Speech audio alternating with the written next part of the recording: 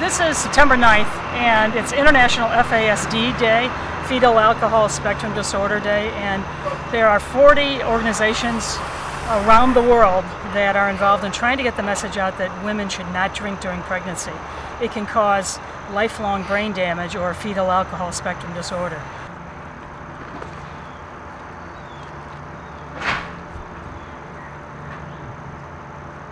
People think that perhaps cocaine or heroin could be more damaging to the fetus than could alcohol, but alcohol is unique in that it's more damaging and it goes right through the placenta. So the banner shows uh, fetuses or babies in different liquor bottles, and literally, if a woman is drinking, the baby is drinking that same thing. And as the brain is forming, it's, uh, it's, it needs to be healthy, and if it has alcohol, it can really provide a lot of problems for the child.